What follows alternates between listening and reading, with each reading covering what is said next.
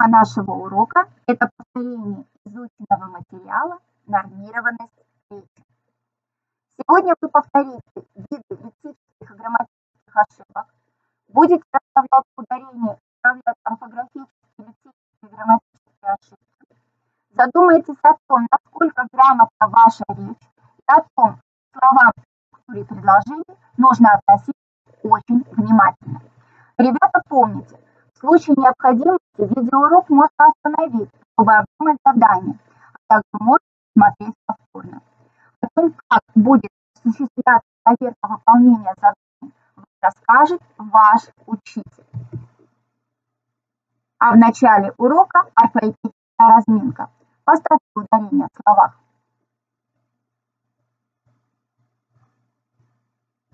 Помните, что можно нажать стоп, чтобы успеть все записать. Проверим? Давайте. Апостроф, асимметрия, балую, бензопровод. Причем во всех словах на провод ударение идет именно на последний слог. Газопровод, путепровод, нефтепровод, кроме одного слова – электропровод. Включат, вручит, генезис, глашатай, диспансер, жалюзи, каталог, колледж, форзац, таможня, прибывший. А у вас правильно? Орфографическая разминка. Ребята, исправьте в представленных на экране словах все допущенные ошибки. Будьте внимательны, здесь есть слова, которые написаны правильно.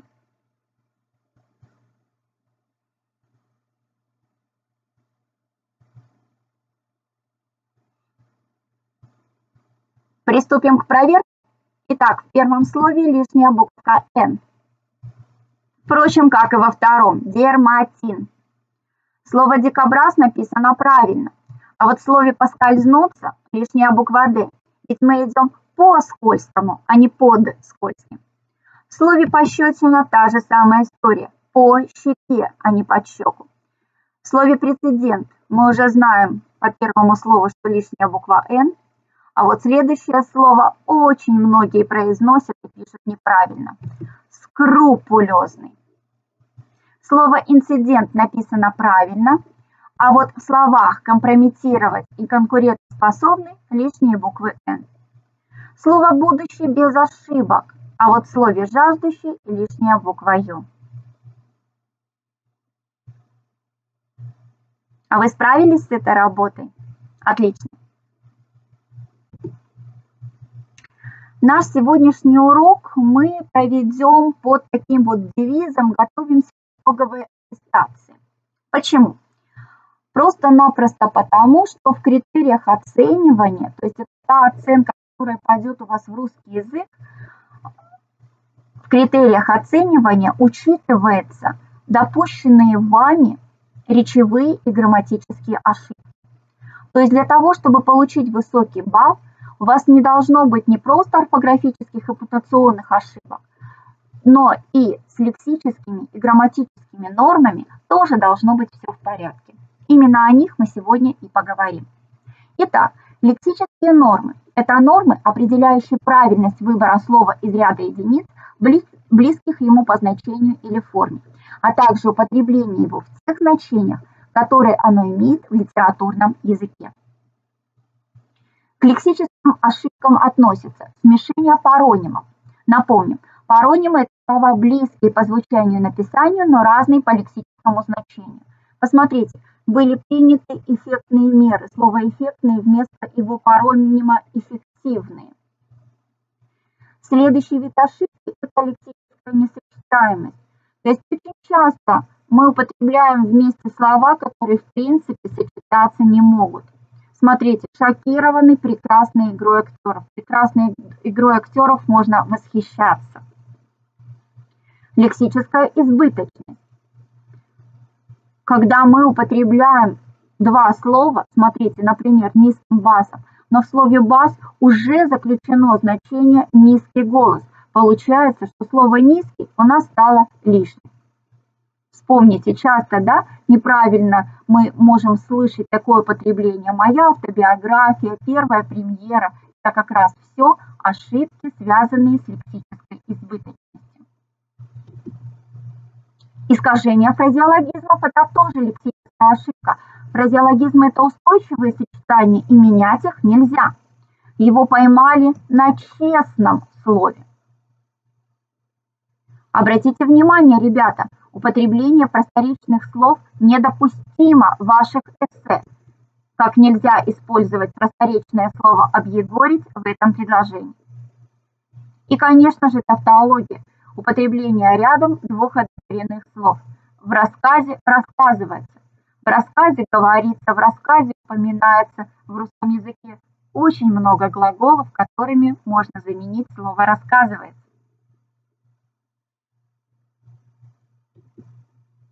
Проверьте себя. Найдите в данных ниже предложениях все нарушения лексической нормы. Помните о возможности нажать «Стоп», чтобы успеть все записать.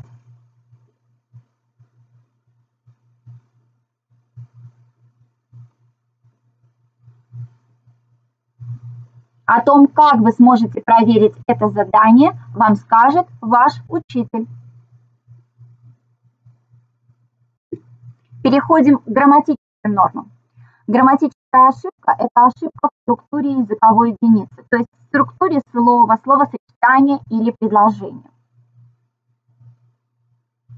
Давайте посмотрим виды грамматических ошибок. Итак, ошибочное словообразование. Вместо неизгладимого вдруг неизгладимую, вместо отъезда появилось уезда. Или это может быть ошибочное образование формы существительного – Чаще всего ошибки в образовании формы существительного возникают при образовании формы множественного числа именительного и родительного падежа. Мы же часто задумываемся, апельсин или апельсинов, докторы или доктора, доктора, шоферы, договора или договоры, конечно же договоры. Следующий вид ошибки – это ошибочное образование формы прилагательного. Чаще всего это связано с неправильным употреблением составной сравнительной, составной превосходной степени. То есть очень часто мы ставим прилагательное два раза в сравнительную или два раза в превосходную степень, как показано в примере.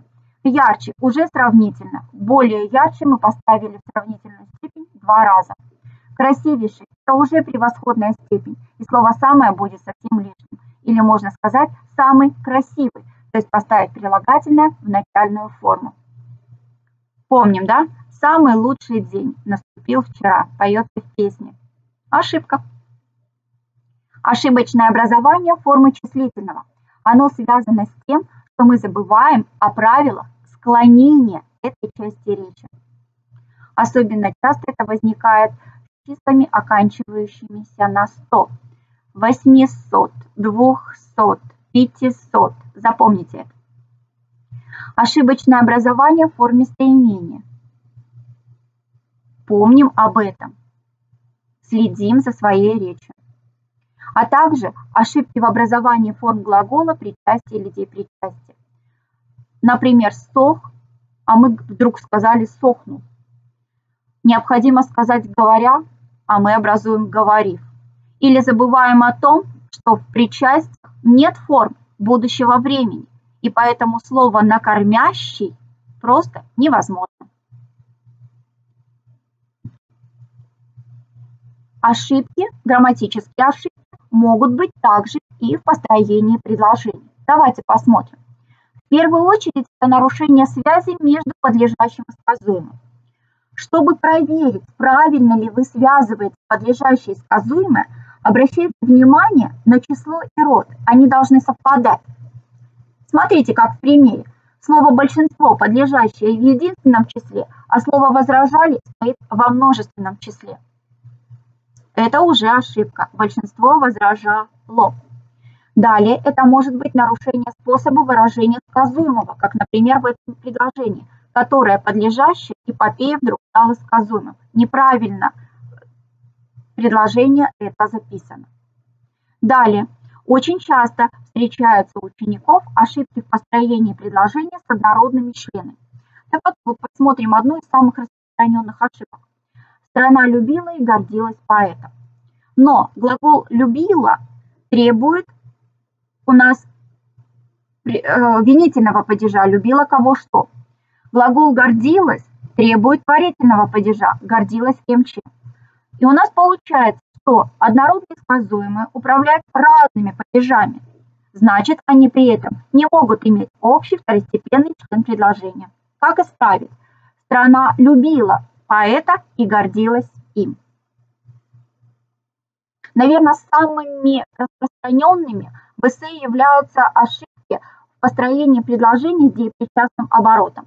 Здесь мы должны помнить, что подлежащее – это тот предмет, который выполняет действие. Сказуемое – это основное действие. А вот деепричастие – это добавочное действие, которое стоит при основном действии, выраженном глаголом. Но ведь это добавочное действие тоже должно выполнять подлежащее. Поэтому, чтобы проверить правильность строения предложения с деепричастным оборотом, переводим деепричастие в глагол. Что получится в этом предложении? Чувство возникает и читает. Чувство читать научилось. Чтобы исправить такую ошибку, необходимо это простое предложение переделать, перестроить сложное, чтобы дать деепричастию свое отдельное подлежащее. Также часто встречаются ошибки в построении предложений с причастным оборотом. Найдите причастный оборот в этом предложении. Конечно, проваливающимся под ногами. Смотрите, и оказалось, что определяемое слово «снегом» внутри причастного оборота. Это невозможно. Была покрыта проваливающимся под ногами снегом или снегом, проваливающимся под ногами.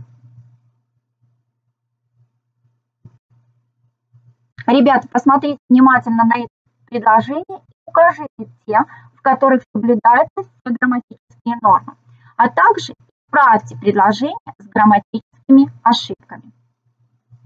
Можно остановить просмотр, чтобы успеть выполнить задание.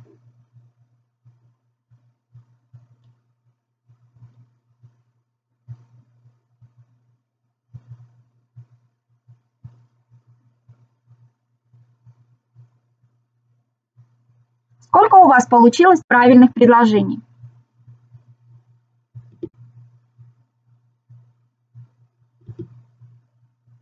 Два. Во всех остальных допущены грамматические ошибки. Попытайтесь определить, какие именно. О том, как можно будет проверить это задание, вам расскажет ваш учитель. Итак, Составьте топ-5 видов лексических и грамматических ошибок, которые вы лично часто допускаете. Здорово, если у вас не наберется топ-пятерка, а ошибок гораздо меньше. Выполните дополнительные задания по этим видам ошибок. Будьте внимательны, и тогда у вас всегда будут только пятерки.